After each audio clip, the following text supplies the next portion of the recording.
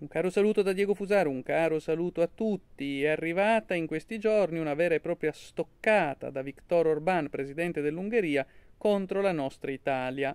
La questione parte tutta dalla vicenda di Ilaria Salis, che era stata sottoposta a un processo in Ungheria con delle accuse anche piuttosto pesanti e poi è stata liberata da che è stata eletta alle elezioni europee come europarlamentare nelle fila della New Left arcobalenica post-marxista, nemica di Gramsci, di Marx e delle classi lavoratrici.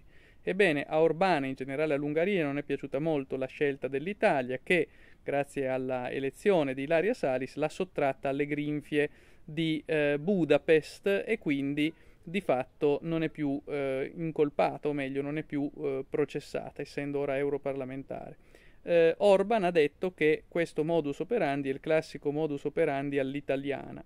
Ora mi permetto di svolgere alcune pur telegrafiche considerazioni. Sul caso della Salis possiamo discutere lungamente, per parte mia non ritengo che Ilaria Salis abbia una visione del mondo particolarmente strutturata e soprattutto particolarmente condivisibile, anzi mi pare che rappresenti al meglio la New Left che non parla mai del lavoro, delle classi lavoratrici, della lotta all'imperialismo, è eh?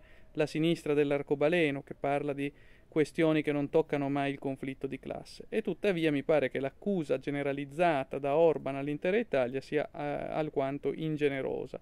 Caro Orban, capiamo le tue ragioni, ma non puoi generalizzare come se tutti gli italiani fossero come li descrivi tu. Non tutti gli italiani sostengono la Salis, non tutti gli italiani sono tali da operare nel modo da te detto, quindi forse faresti meglio a rivedere un poco il tuo giudizio.